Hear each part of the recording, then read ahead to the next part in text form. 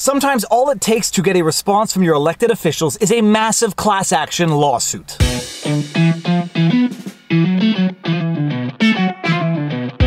Viva Frei, Montreal litigator turned YouTuber, and by now you've probably all heard of Chaz, which was the Capitol Hill Autonomous Zone, renamed to CHOP, which was the Capitol Hill Organized Protest, basically a portion of Seattle that was either abandoned to or occupied by protesters. Take it for what it's worth, Wikipedia describes it as follows. The Capitol Hill Autonomous Zone, Chaz, also known as Free Capitol Hill, the Capitol Hill Occupied Protest, and the Capitol Hill Organized Protest, CHOP, was an occupation protest and self-declared autonomous zone in the Capitol Hill neighborhood of Seattle, Washington, United States. The zone originally covering six city blocks and a park, was established on June 8, 2020 by George Floyd protesters after the Seattle Police Department left its East Precinct building and was cleared of occupants by police on July 1st, 2020. I am making this vlog on July 1st, 2020, Canada Day in Canada, and something Wikipedia fails to mention is that CHOP was only cleared of the protesters on July 1st, 2020 after a massive class action lawsuit was filed against the city of Seattle. The class action lawsuit was filed against the city of Seattle by various businesses and entities that exist within the CHOP zone who have been utterly decimated by what has occurred within the CHOP zone over the last three weeks. The incident began when protesters basically took over the police station and the police, in an attempt to de-escalate the situation, basically abandoned the police station to the protesters. The police abandoned not only the police station, but an entire area, and the protesters who had once occupied only the police station basically occupied an entire area which became known as Chaz or CHOP. And the lawsuit itself, which reads like something out of someone's nightmares, doesn't just allege that the city didn't do anything. It alleges that the city actively participated in the deprivation of the constitutional rights of the plaintiffs. Now, a couple of things I've said in the past and I will say again in the future, an overly litigious society has its pros and its cons. Its cons are frivolous lawsuits, people walking on eggshells for fear of getting sued. Its pros are that at some point in time, it does tend to hold people accountable for their wrongdoing. Another thing I've said that when it comes to the field of law, sometimes people file a lawsuit not for the purposes of winning, but just for the purposes of telling their story to the public, and this is one of those stories where the plaintiffs just want to tell their story to the public. That and possibly collect a fat check for grotesque government misconduct, even if that fat check comes from taxpayer dollars. But I do believe the primary objective of the plaintiffs is to tell their story, so let's read their story. In the United States District Court for the Western District of Washington, class action complaint, jury demand. Hunters Capital LLC, Northwest Liquors and Wine LLC, SRJ Enterprises, The Richmark Company, Therapy PLLC, Kathleen Caples, Onyx Homeowners Association, and the list goes on and on and on. On behalf of themselves and others similarly situated. And we will explain in greater detail what that means later on in this vlog, but basically they're talking for and on behalf of the potential class of plaintiffs. Overview. The rights of free speech and to peaceably assemble are enshrined in our constitutional tradition. Plaintiffs support free speech rights and support the efforts of those like Black Lives Matters who, by exercising such rights, are bringing issues such as systemic racism and unfair violence against African Americans by police to the forefront of the national consciousness. Specifically, plaintiffs support the free speech rights of many of those who have gathered on Capitol Hill to form what has been called CHAZ, standing for the Capitol Hill Autonomous Zone, or CHOP for the Capitol Hill Organized Protest or Capitol Hill Occupying Protest. This lawsuit does not seek to undermine CHOP participants' message or present a counter message. Rather, this lawsuit is about the constitutional and other legal rights of plaintiffs, businesses, employees, and residents in or around CHOP who have been overrun by the City of Seattle's unprecedented decision to abandon and close off an entire city neighborhood, leaving it unchecked by the police, unserved by fire and emergency health services, and inaccessible to the public at large. The city's decision has subjected businesses, employees, and residents of that neighborhood to extensive property damage, public safety dangers, and an inability to use and access their properties. These first two paragraphs are heavy with politics, and the plaintiffs are walking a very fine line between not wanting to anger the people or entities that have caused the damage while suing the city for the damage caused by those people. The plaintiffs are affirming that they support the causes, they support people's right to protest while simultaneously suing the city for abandoning the entire area and allowing these protests to run amok. The plaintiffs are sort of caught between a rock and a hard place in that they want to sue to avail themselves of their rights to be compensated for the damage that they have suffered without angering people further to result in even greater damage to them. Not a position anyone would want to find themselves in, but let's move on with this lawsuit. On June 8, 2020, the city of Seattle abruptly deserted the Seattle Police Department's East Precinct on the corner of 12th Avenue and East Pine Street in the Seattle's Capitol Hill neighborhood, leaving behind numerous barriers that had previously been used as a line between police and protesters. When the city abandoned the precinct and the nearby barriers, a number of individuals who had been in the area took control of the barriers and used them to block off streets in an area around the East Precinct. In the days and weeks after the city abandoned the East Precinct, CHOP participants have occupied the public streets, sidewalks, and parks in the area at all hours of the day and night. Rather than seeking to restore order and protect the residents and property owners within CHOP, the city instead chose to actively endorse, enable, and participate in the occupation of CHOP. And this is the crux of the lawsuit. It is not only a question of the city failing to protect, it is a question of the city actively participating in contributing to the damage. The city has provided Cal Anderson Park, a public park located at the center of CHOP, to CHOP for use as the staging ground supporting CHOP's occupation of the surrounding area. Supported by the city, countless CHOP participants now reside in the park at all times of day and night, having turned it into a tent city. At any given time, hundreds of CHOP participants are camped out in the park. The city's conduct has resulted in CHOP being blocked off from public access. Among other conduct detailed below, the city recently provided the participants with concrete barriers to use to block the streets, which CHOP participants have indeed used to barricade the streets and create borders. These borders have, at times, been guarded by armed CHOP participants who oversee who can or cannot enter CHOP. As a result, these streets are barred to most all vehicular traffic, making it virtually impossible for residents and businesses to access their buildings, receive deliveries, and provide goods and services to the few customers willing to enter CHOP. And when I say that sometimes people file lawsuits just to tell their story, I have a sneaking suspicion the plaintiffs in this lawsuit are filing this lawsuit to tell their story because you sure as heck don't see the mainstream media describing CHOP like this.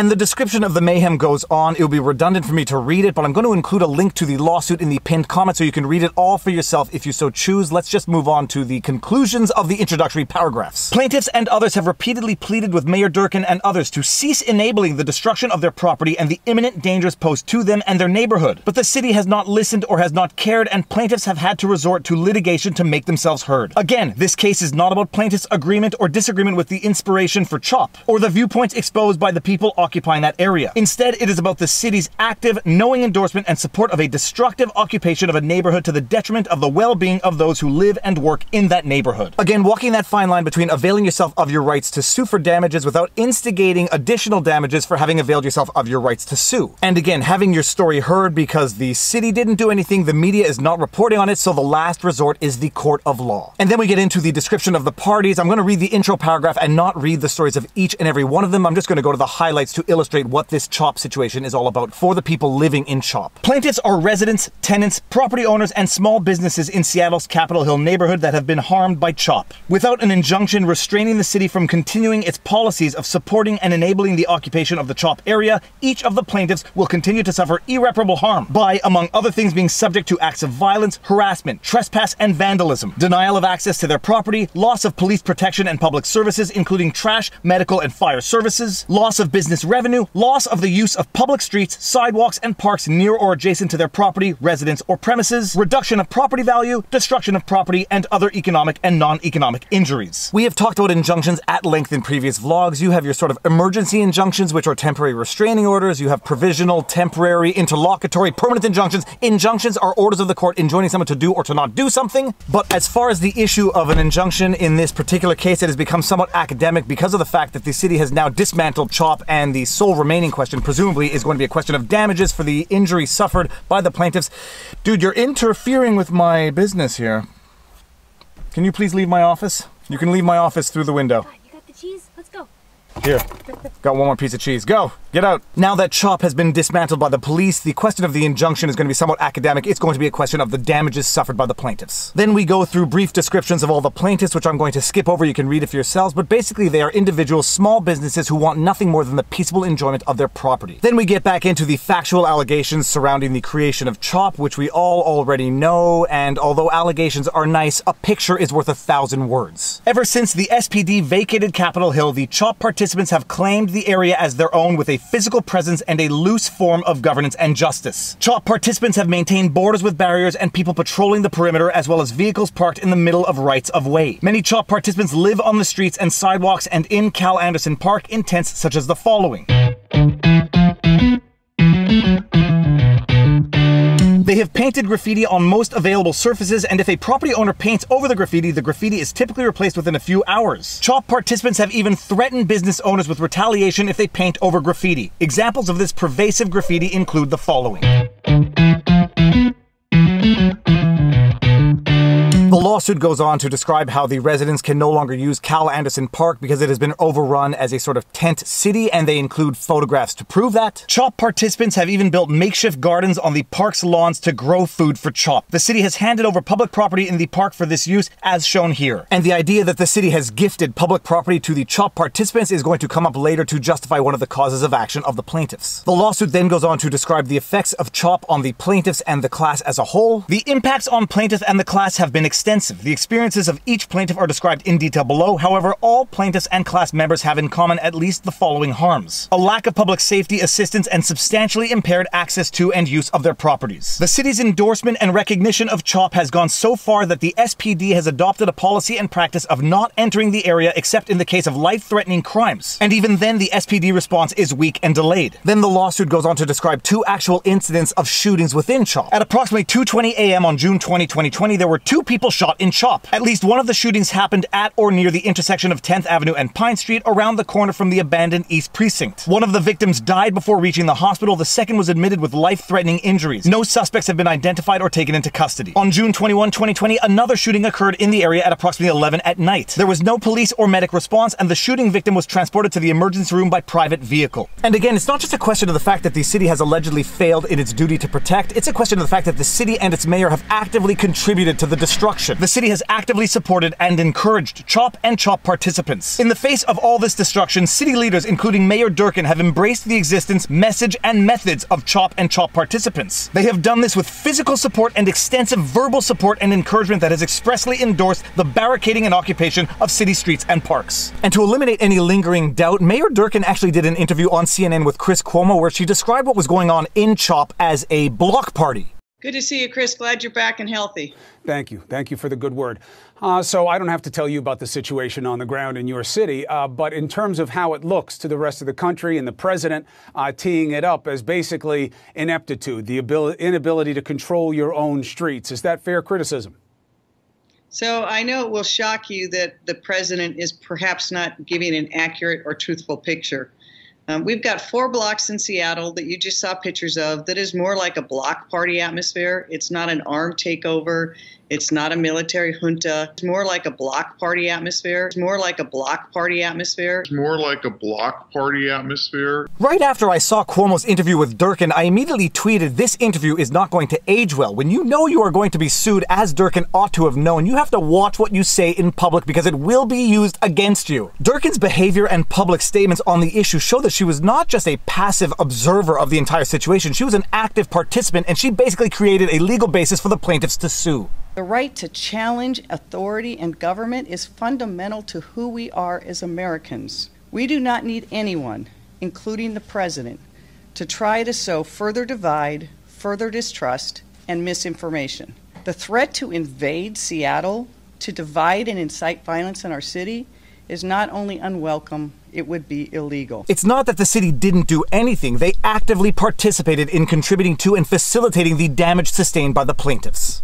At least those are the allegations in the lawsuit. It will be up to a jury to decide whether or not that is in fact the case. Then we get into the description of the class because in a class action lawsuit, you have to be able to describe the class and you have to be able to create certain questions of law that apply pretty much equally to all members of the class. Plaintiffs seek to certify a class of similarly situated persons pursuant to federal rules of civil procedure 23b2 and or 23b3. The class is hereby defined as follows. All persons or entities who own property in, have a business in, or reside in the area in the city of Seattle bounded by the following streets streets. The definition of the class is unambiguous. Plaintiffs are members of the class, and all members of the class can be identified through public records and notified by mail or other means of notification. Now, rules regarding class action lawsuits are jurisdictional. Nothing in this video constitutes legal advice. If you need legal advice, consult a lawyer in your proper jurisdiction. But when it comes to class action lawsuits, the class needs to be definable and clearly circumscribed. In order to certify the class, there can't be ambiguity as to who does and does not fit within the class. And the questions of fact and law have to be common to the class so defined. There are numerous questions of of law and fact common to the class that predominate over any individual issues. These issues include the following. Whether the city has participated in, endorsed, or encouraged the creation, maintenance, and continued existence of CHOP. All facts regarding the existence and maintenance of CHOP, including at least the following. The boundaries and nature of the SPD's no-go zone in and around CHOP. All facts and circumstances surrounding the city's participation in, endorsement of, or encouragement of the creation, maintenance, and continued existence of CHOP. The nature and scope of activities of CHOP participants. Whether plaintiffs and the class have legally protected constitutional property rights whether the city has infringed on those property rights by its actions with regard to CHOP, whether the city was required to provide notice and a hearing to class members before infringing on those property rights. And it goes on and on and on. And then we get into the causes of action, the first of which is procedural due process. Plaintiffs and the class have constitutionally protected property rights as defined by Washington state law to exclude others from their property, to the use and quiet enjoyment of their property, and to access their property via public rights of way. The city has infringed on those rights, including by 1. creating, assisting, endorsing, and encouraging an indefinite, unpermitted occupation and blockade of the public streets, sidewalks, and parks in and around CHOP, thereby denying plaintiffs access to their properties, and